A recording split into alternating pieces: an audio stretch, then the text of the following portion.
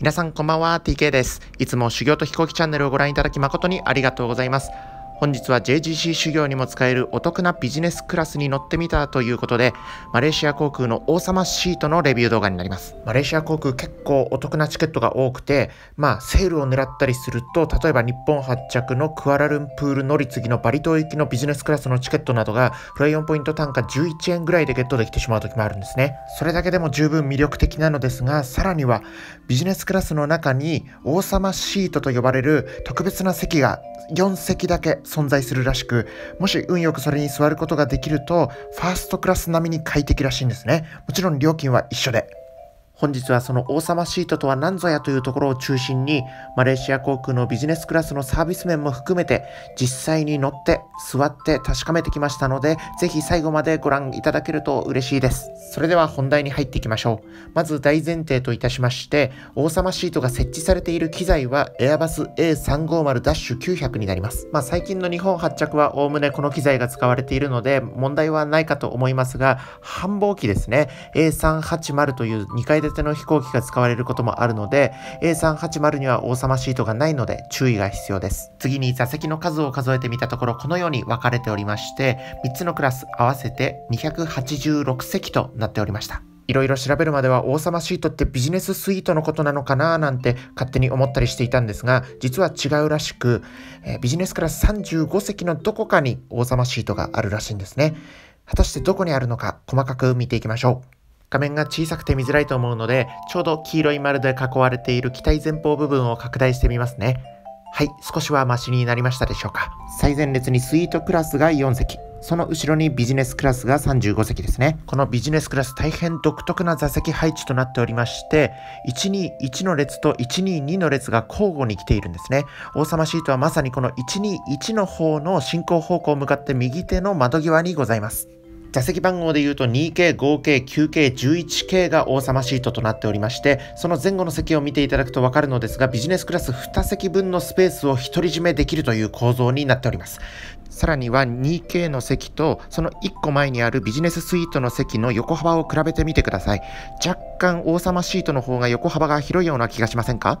もちろんスペース全体の前後の長さについてはスイートクラスには及びませんが、横幅は明らかに勝っておりまして、それだけでもすごいのかなと。しかも他のビジネスクラスの席と同一料金ですので、同じ値段でより快適な席を選べるというのは、やはり魅力なのかなとただ注意点もありまして、休憩については、ギャレーと化粧室に近いため、出入りの音ですね、バタバタ結構する感じが強いため、音に敏感な方はお勧めできないといったところはあります。なので、実際安全に使える王様シートは 2K、5K、11K の3席といったところでしょうか。今回私は 11K に座ってみることにしました。はい、出ました。皆様いかがでしょうか？王様シート。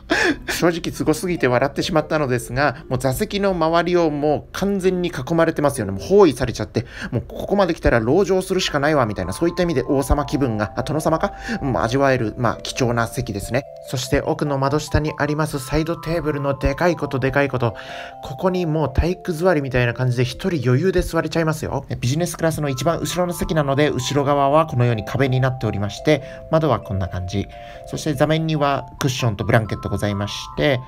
座面の硬さもここで調整できますね。あとマッサージ機能もありました。そしてここにイヤホンジャックの差し込み口と物入れ。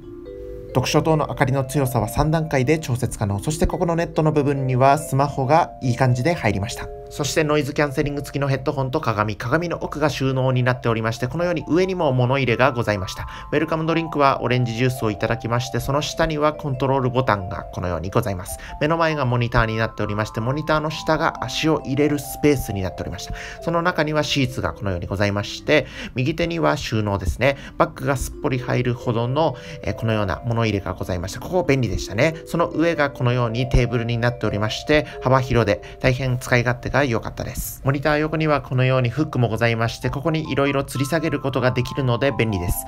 そして下の部分にはこのように各国の形状に対応した AC 電源もございまして、その下には USB ポートもあるので、電子機器の充電にも困ることはありませんね。そしてモニター操作用のコントローラーはこのようにパカッと開きまして中に入っておりました。と言ってる間におしぼりが配られまして、間もなく離陸です。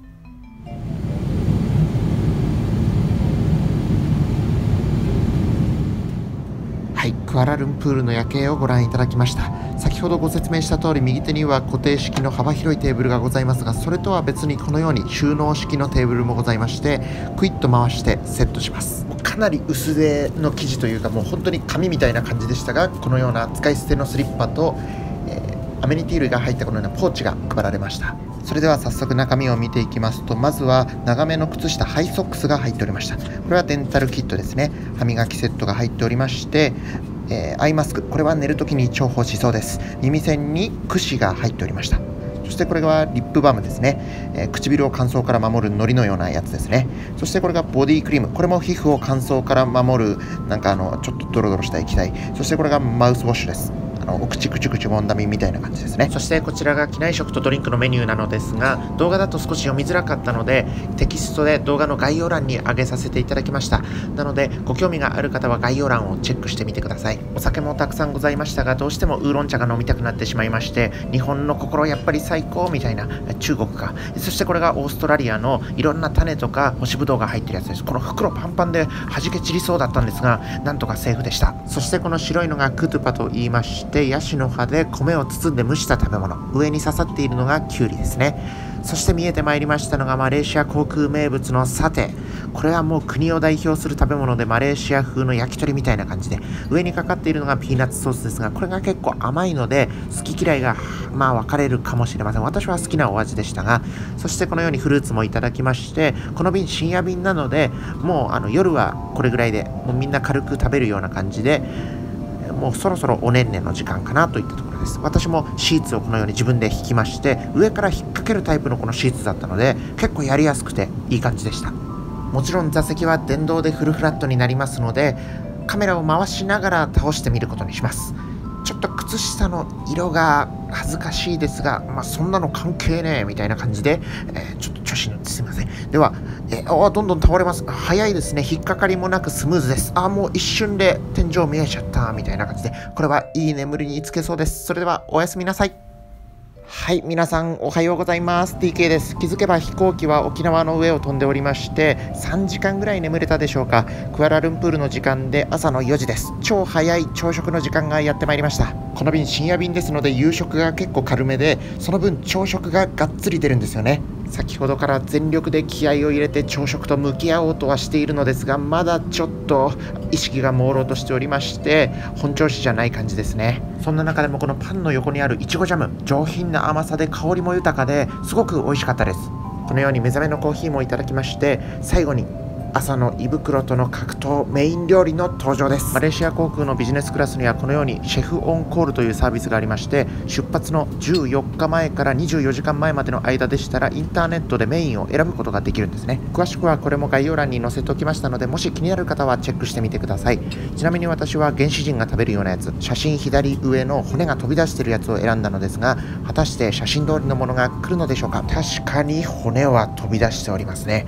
しかしなんか写真よりもも色が薄いような気もしないでもないですが味付けはしっかりめでした。ただ肉が厚いので少し野生的な感じの味わいもあって肉肉しいのが苦手な方は避けた方が良いかもしれませんって。あんた肉について語りすぎてなんかトイレの動画に切り替わっちゃってるじゃんみたいな。すみません。歯磨きセットとプッシュ式の保湿液がございましてこのように掃除もよく行き届いており快適に使うことができました。そこまで広くないので総合的にはまあスタンダードといったところですがこの鏡の中の電気かっこいいですよね。これよく高級ホテルにあったりするやつですよ。その向かい側にはこのようにフックがありましてこのような大型の姿見もございました。その横にはおむつの交換台。これも便利ですね。ただいま成田国際空港に向け順調に飛行中でございます。これより10分ほどいたしますと航行開始し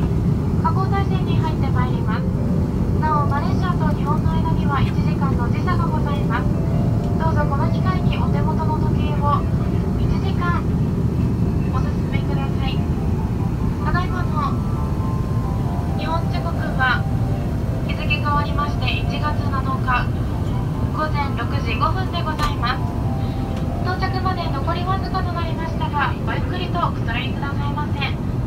まめまして本日のご搭乗誠にありがとうございます。これより着陸の準備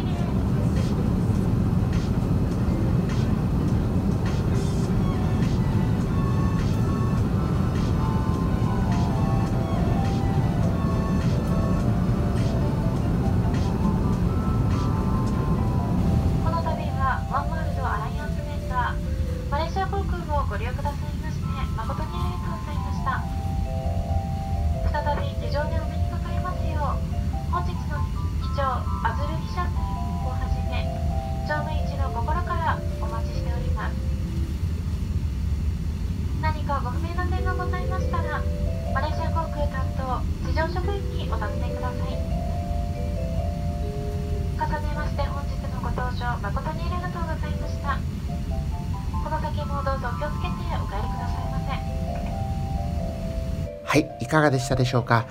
深夜便特有の胃袋の疲れは正直ありましたが、体力的にはあまり落ちてないですね。強いて言えばもう少し寝たかったなっていうのはありましたが、東南アジア線そこまで飛行時間も長くないので、まあこんなもんでしょうか。あとはやっぱりこの A350 の機材良いですね。気圧の変化による耳への負担も実際少なかったような気がしましたし、湿度も高いというほどではないのですが、これ以上下がっては死ぬというこのデッドライン的なものは常に保たれていた気がしました。そして王様シートもぜひお試しください。これからも航空関連の動画どんどん出していきますので、チャンネル登録もしていただけると喜びます。次の動画でお会いしたいです。それでは。